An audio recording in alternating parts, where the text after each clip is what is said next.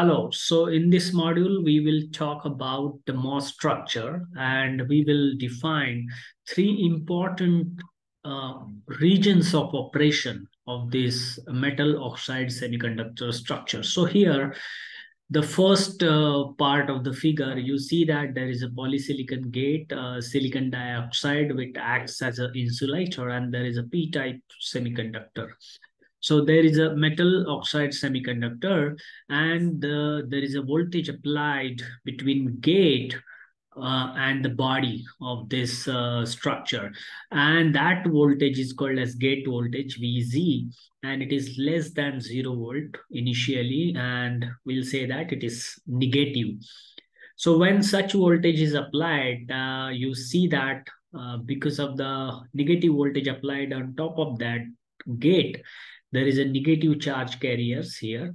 And the positive charge carriers present in the p-type body of this structure those get attracted towards the insulating layer here. So so insulating layer of silicon dioxide separates the polygate and the p-type body. So you see there is an accumulation of those charge carriers because we apply the negative charges on the gate because of this voltage. So this process is called as accumulation process of this structure where negative charge carriers accumulates, attracts the positive charge carriers and those uh, charge carriers gets accumulated near the interface between gate and the body.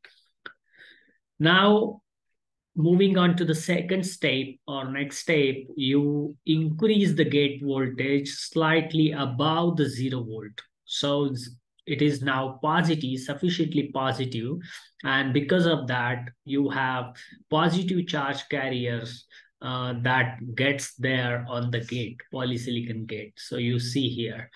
And this voltage is greater than zero volt, but uh, less than a critical threshold voltage, VT. We'll define and explain in a moment what is that voltage.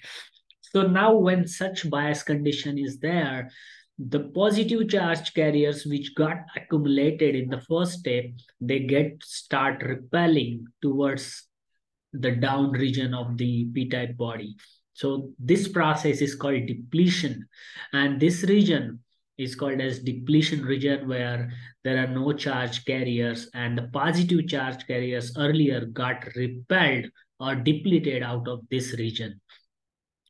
So third and the final step, you increase the gate voltage even more so that it overcomes this critical voltage now called as threshold voltage. So that is the threshold voltage, uh, which is also called as turn on voltage for the MOS structure. So what happens when you increase the further the gate voltage, now you have many, many positive charge carriers as compared to the second step. You have a lot of pos positive charge carriers on the gate. And due to that action, the negative charge carriers in the p-type semiconductor, which is a body that gets start coming up, coming up and accumulating near the interface between gate and the p-type body. So you have uh, positive charge carriers on top of gate and just beneath the oxide layer, you have a sufficient number of charge carriers uh, which are negative charge carriers. And still here, this empty region is depleted of any charge carrier. You don't have any charge carriers. So that's called depletion region.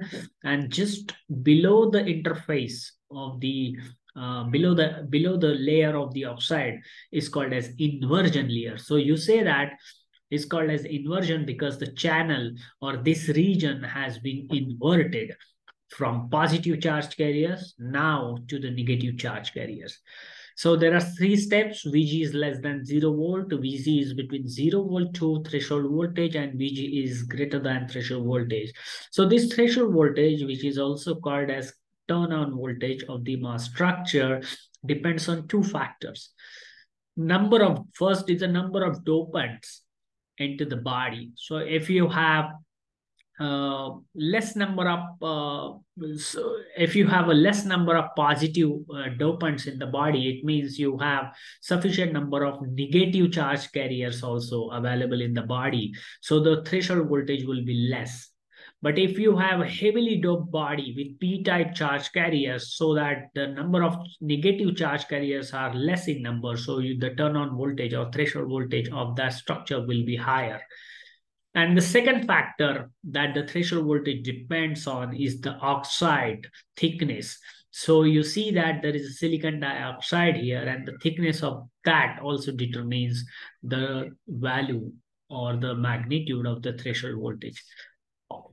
Usually this threshold voltage is positive as we have seen in this figure, but you can actually engineer it to be a negative. So that is achieved by doping concentration in the body and uh, modulating the thickness of the oxide to create such MOS structure.